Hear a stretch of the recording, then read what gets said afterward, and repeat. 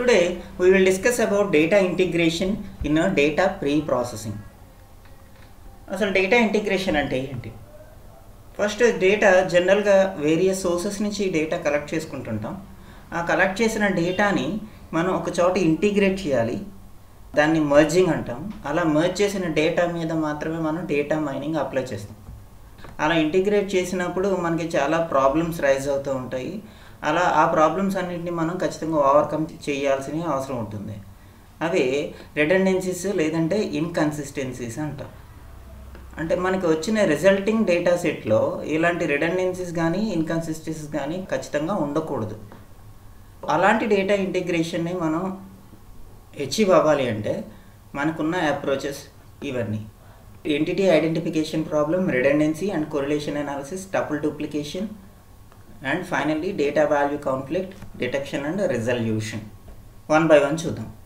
First entity identification problem దీంట్లో ఏంటి అంటే schema integration and object matching are very important issues in data integration entity identification ప్రాబ్లంలో మనం ఏదైతే డేటాని వేరియస్ సోర్సెస్ నుంచి కలెక్ట్ చేసి ఇంటిగ్రేట్ చేయడానికి ట్రై చేస్తున్నామో ఆ డేటాలో స్కీమా ఇంటిగ్రేషన్ని ఆబ్జెక్ట్ మ్యాచింగ్ని చాలా జాగ్రత్తగా అబ్జర్వ్ చేయాల్సిన అవసరం ఉంటుంది.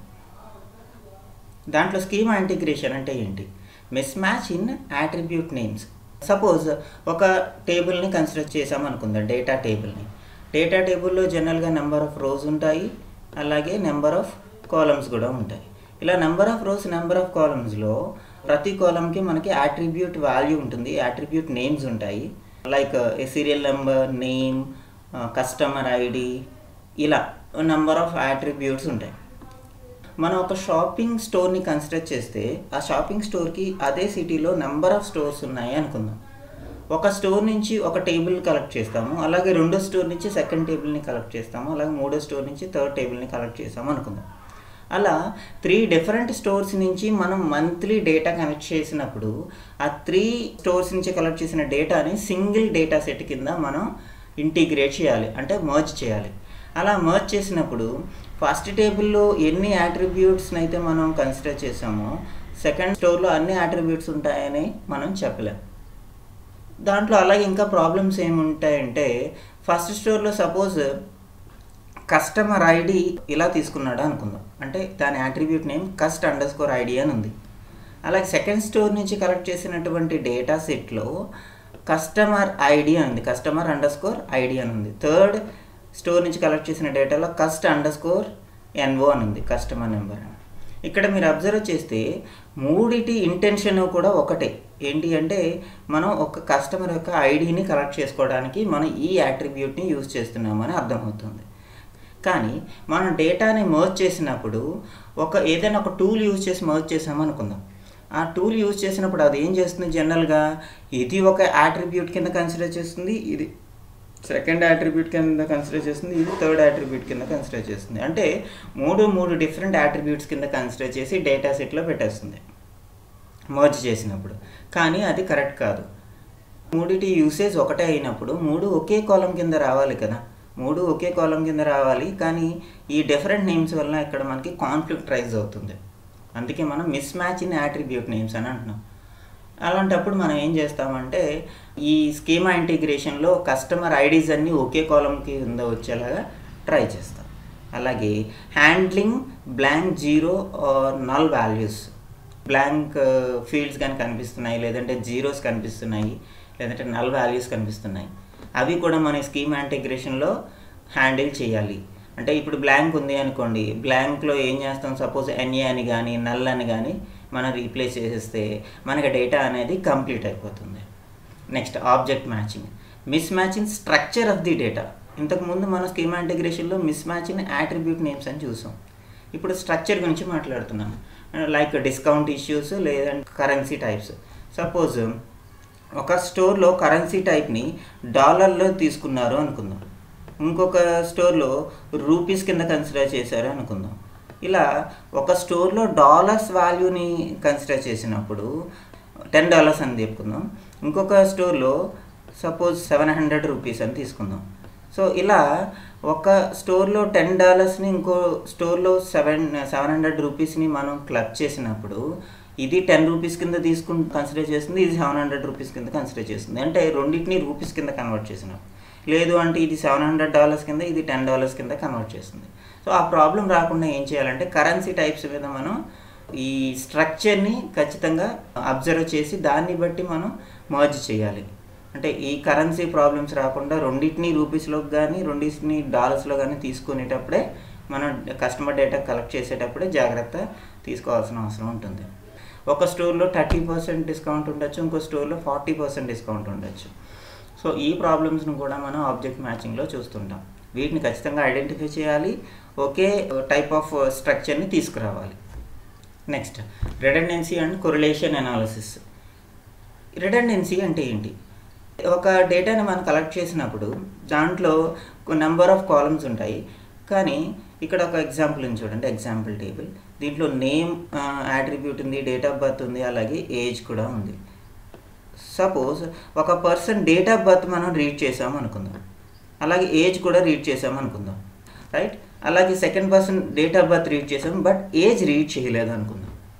ఇప్పుడు జనరల్గా ఈ ఏజ్ని రీప్లేస్ చేయడానికి మనకి ఆల్రెడీ డేటా క్లీనింగ్లో మనం మిస్సింగ్ వాల్యూస్ని రీప్లేస్ చేయడం వల్ల ఆ కాన్సెప్ట్ని మనం చూసాం. ఇక్కడ అలా కాకుండా ఏజ్ అసలు ఇది రెలవెంట్ యాట్రిబ్యూటా కదా? లేదంటే రిడెండెంట్ యాట్రిబ్యూటా కదా అనేది ముందు చెక్ చేస్తాం. If it can be derived from another attribute or set of attributes అంటే ఒక యాట్రిబ్యూట్ వేరే యాట్రిబ్యూట్ నుంచి మనం డిరైవ్ చేయగలిగితే దాన్ని రిడెండెంట్ యాట్రిబ్యూట్ అంటాం.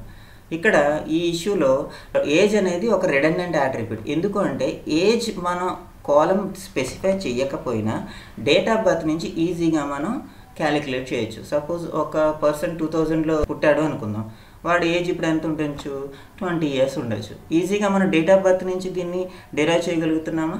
రైట్. అందుకే ఏజ్ అనే యాట్రిబ్యూట్ని మనం ఇక్కడ రిడమినెంట్ యాట్రిబ్యూట్ అంటున్నాం. సో ఏజ్ అనేది మనకు అవసరం లేదు. అలాంటి యాట్రిబ్యూట్స్ని మనం సింపుల్గా ఇగ్నోర్ చేసేయచ్చు. అలాగే క్వార్టర్ సేల్స్ ఇయర్ సేల్స్ ఇది కూడా. ఇక్కడ చూస్తే ఇది క్వార్టర్ సేల్స్ ఉంది. క్వార్టర్ సేల్స్ అంటే ఒక three months data total number of sales ఎంత వచ్చినాయో ఇక్కడ మనకి వాల్యూ ఉంది. అలాగే ఫోర్ క్వార్టర్స్ని కలిపితే మనకి ఒక year total number of sales వస్తాయి కదా. అంటే ఫోర్ క్వార్టర్ సేల్స్ని మనం టోటల్ చేస్తే మనకి ఇయర్ టోటల్ సేల్స్ వస్తాయి.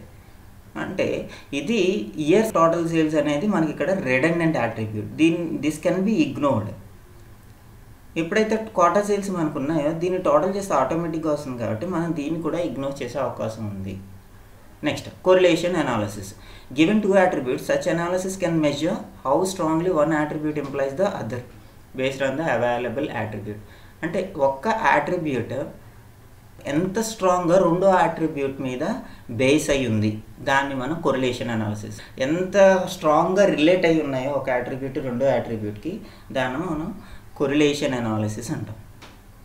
Next tuple duplication the use of denormalized tables is another source of redundancy inconsistencies often arise between various duplicates due to inaccurate data entry or updating some but not all data occurrences ఇక్కడ మనం observe చేస్తే tuple duplication అంటే ఒక టపుల్లో ఉన్న values వేరే టపుల్లో కూడా మనకి appear అయితే మనం డూప్లికేట్ అయ్యింది అనే ఛాన్సెస్ ఎక్కువ ఉంటుంది.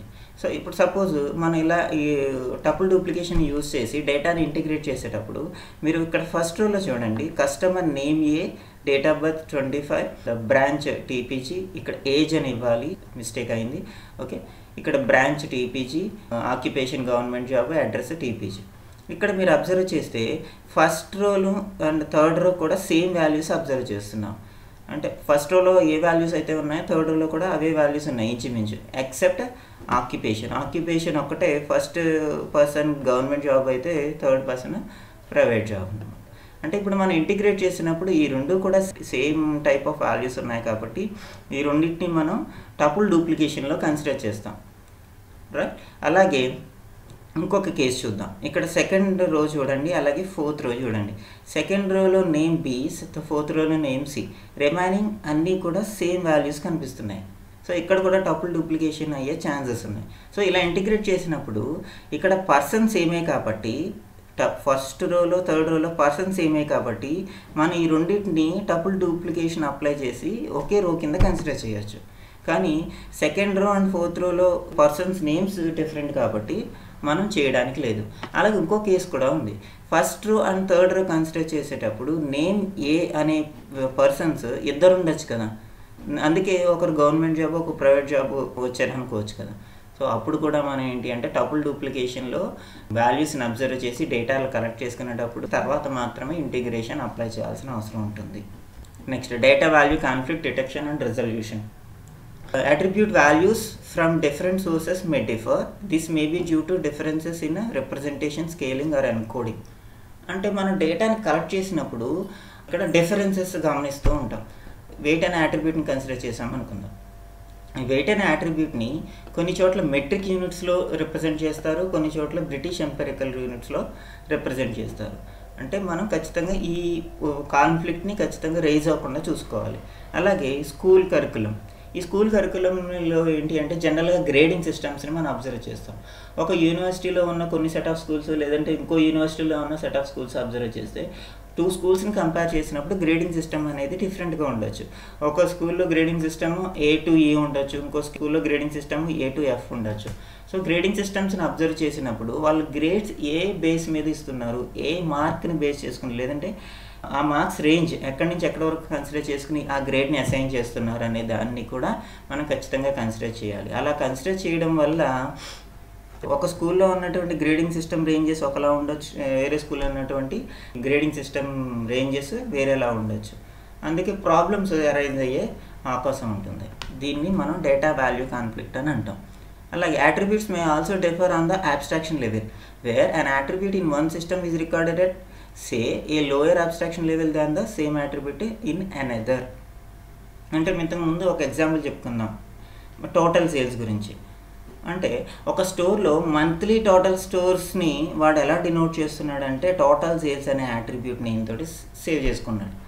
కానీ జనరల్గా ప్రతి మంత్కి మనం ఆ సిటీలో ఉన్నటువంటి టో నంబర్ ఆఫ్ స్టోర్స్ నుంచి డేటా కలెక్ట్ చేసుకుని అప్పుడు మనం టోటల్ సేల్స్ గురించి డిస్కస్ చేయాలి.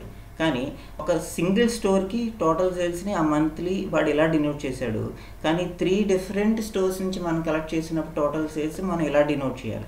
ఇలా మనం ఒక స్టోర్ నుంచి డేటాని కలెక్ట్ చేసి టోటల్ సేల్స్ అనే యాట్రిబ్యూట్ని స్పెసిఫై చేసినప్పుడు ఇది మనకి మిస్ మ్యాచ్ అయ్యే ఛాన్సెస్ ఉంటాయి కాన్ఫ్లిక్ట్ రైజ్ అయ్యే ఛాన్సెస్ ఉంటాయి.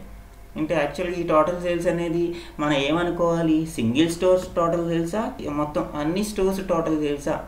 అనే కన్ఫ్యూజన్ రైజ్ అయ్యే ఛాన్సెస్ ఉంటాయి. ఇలాంటివి కూడా మనం ఖచ్చితంగా ఖచ్చితంగా అబ్జర్వ్ చేయాలి. వాటిని డిటెక్ట్ చేసి రిజల్యూషన్ చేయాలి.